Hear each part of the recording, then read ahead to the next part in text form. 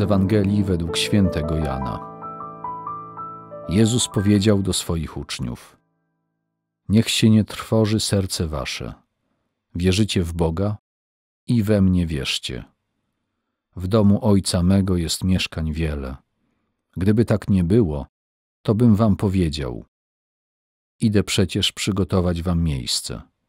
A gdy odejdę i przygotuję wam miejsce, przybędę powtórnie i zabiorę was do siebie, abyście i wy byli tam, gdzie ja jestem.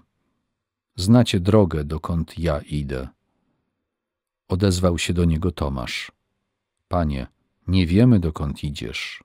Jak więc możemy znać drogę? Odpowiedział mu Jezus. Ja jestem drogą, prawdą i życiem.